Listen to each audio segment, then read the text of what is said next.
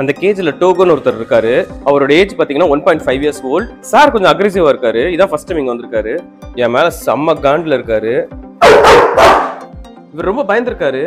Dude ஒன்றும் இல்லை dude first time தானே பழகிறோம்.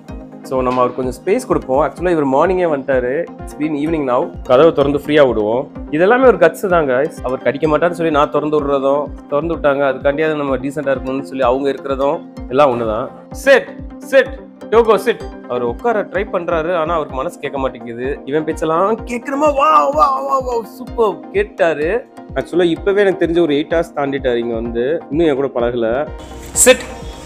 குட் பாய் இந்த chicken stick eat good boy hey படி குட் பாய் டோட்டலாக மூணு நாள் ஆயிருக்கு இவரை தொடுறதுக்கு. நான் எடுத்தோடனே குட்டி டாக்ஸ் கூட தான் பழகிட்டுருக்கேன் ஏன்னா அடல்ட் டாக்ஸ்னா அக்ரெசிவாக மாறுவாங்க. குட்டி டாக்ஸ்னா அந்த ஒரு கேர் இருக்கும் ஒரு அஃபெக்ஷன் இருக்கும்.